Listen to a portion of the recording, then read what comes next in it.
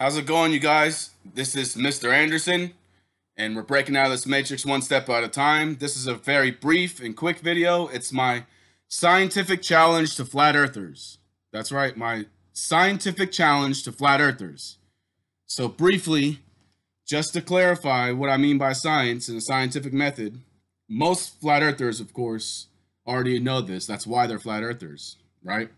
So, you have to observe something. You got to ask a question who, what, why, when, where, etc., etc., right? Then you research that topic.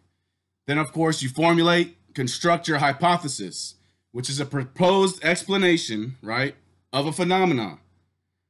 A phenomenon being either natural, social, psychological, or visual. So, preferably using Occam's razor, you develop an explanation and prediction that can be tested, right? An educated guess and a prediction. So if I do this, then this will happen, right? Then you test your experiment with measurements and list of descriptions and your list of step by step of what you're doing, right? And you need your independent, dependent, and control variable.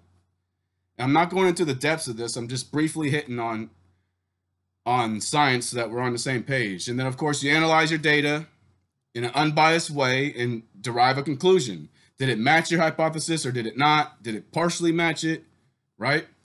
And then you publish your results. Okay, so here is the observed social and or psychological phenomena. Now, in this challenge, you can make up your not make up, but determine your own observation that you want to use for this experimentation and hypothesis. But this is the example I'm giving right? So globe, here it is, the phenomenon that is observed over and over again.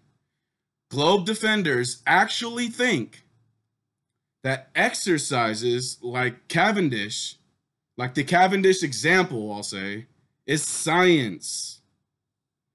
They're literally manufacturing an experiment and calling it science. They're calling it observable phenomena when they manufactured it in the first place. So, my challenge is using Occam's razor, develop either a social and or psychological explanation and prediction for why globe defenders think stuff like the Cavendish exercise is science. Right? And like I said, we can come up you can come up with a different observation, maybe it's cognitive dissonance, which it's pretty obvious it's cognitive dissonance, but we can get some real science showing that it's cognitive dissonance. So after you develop your hypothesis, right, test it with an experiment with a controlled, independent, and dependent variable. List your measurements and descriptions, all that stuff.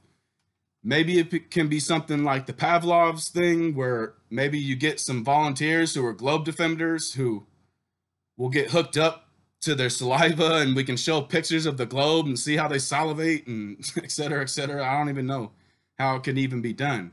I just, and then of course, analyze the data, see if it matches the hypothesis and publish the results. Preferably in a document, maybe showing the document on your YouTube channel. But, and I'm aware cognitive dissonance plays a huge part in it. It goes back to when we're like four or five years old. They smack people over the head with fake science and teach people how to not even see what science is, right? But I'm talking about specifically people who say they're scientific minded. Some of these people even have degrees, which of course we know means nothing because it depends on how you apply yourself and study your craft, right? So maybe we could use rhetoric such as science denial, right? We could call it science denial and say, why do people deny science, even in the face, right? But you have to have a prediction. So this would probably have to be someone like Nathan Oakley or QE or one of these people who have a Discord or where they can actually do these experiments, right?